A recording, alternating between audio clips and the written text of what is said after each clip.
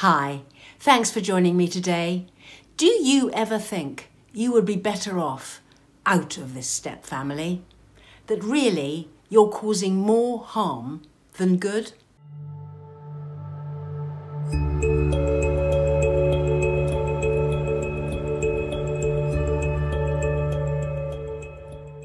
Subscribe to my channel and hit the notification bell and I'll let you know every time I post.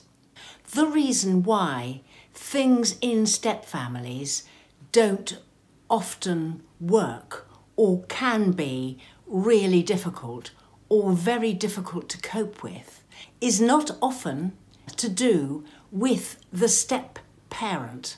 It's more to do with everything that's come before and the dynamics of the family and the difficulties in pre in relationships previously and the child having been through difficult periods and uh, is still suffering as a result. It's those kinds of things that can make step families so difficult. And yet often the step parent can think it must be them and if only they did something differently, things could be better. And I just want to say to you that as a step parent, you're playing a very important role in the future life of the family and absolutely everything you can do for the best for the family is worth it.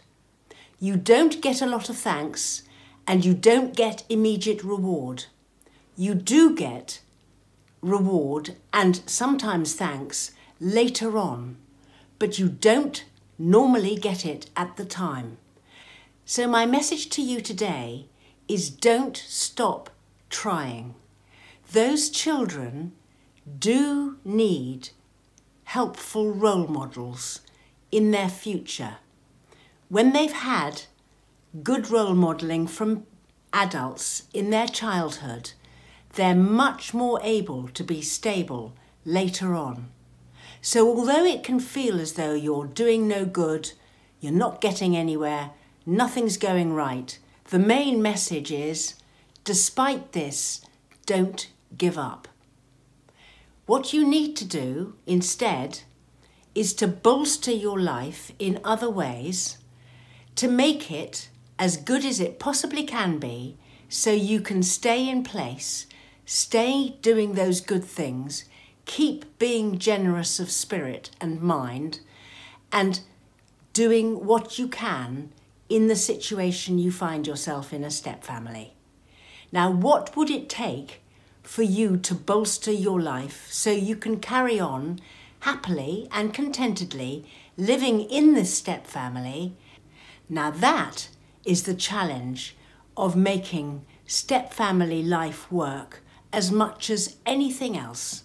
Because if you can feel content enough to stay within it and to keep going for the long term, then you are benefiting the family and looking after yourself.